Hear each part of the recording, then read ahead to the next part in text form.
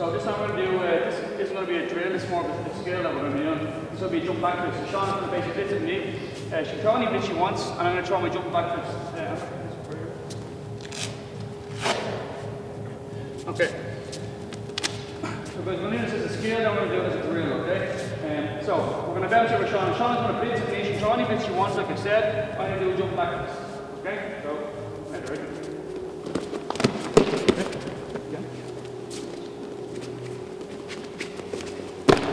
Okay, so you can see the way I'm delaying my shot before I release it. The reason I'm delaying it is Shauna throws her really slowly her back fist here, uh, throws her back fist and then a reverse punch. My hand is getting tangled up in Shauna's two shots. It's probably going to be a one each, so throw any, bit you want. There's going to be a one each because my hands are hit, my arm is going to hit off her arm. Okay? If I let her throw her two shots, let the referee see she's missed the two shots and then deliver mine, it's a very visible score to me. So it's points fighting is not about being better, being a better fighter than them. It's easy to tell who's a better fighter. But there's shot of three judges, coaches, referees who's the better fighter.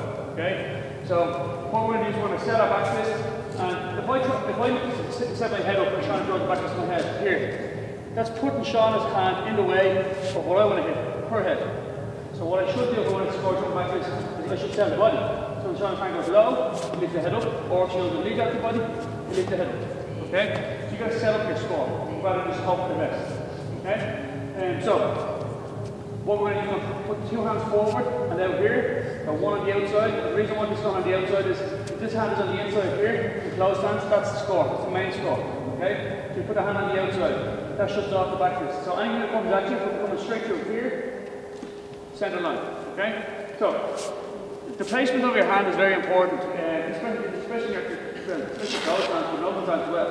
If I'm pointing Sean away my hand across here, I'm basically going reverse punch, because I give this as a target. If my hand is on the outside, I'm shutting off the back fist to my head, because no decent fighter can throw back fist to your head when the hand is so far outside, okay? You come and lead jab to the body, you'll be scoring on the inside.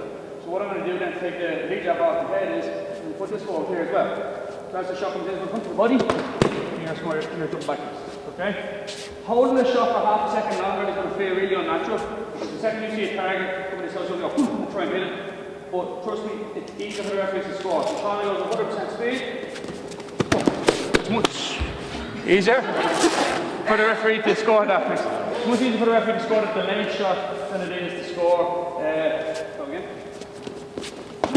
That, it's probably going to clash because both of our punches have been fired at the same time. It's similar height. Okay? Um, so let them kind of ruin their own shot and then pop them on the way in. Okay? Now, sorry, just before we move off that, a lot of people will, this will happen. See, Sean will still leave our hand up in the air, uh, and that'll happen. Okay? And now what we do is we still hit with this, but as we hit, we rotate the hand over and we score a reverse punch. One, two. Okay? So you're still guaranteed to score. Um, you can get used to doing one, two anyway all the time and that way it doesn't matter if you leave a hand up Uh, you have a case you do, you still guarantee your score 100% of the time. Okay, let's go, practice it out, skills, then we drill it.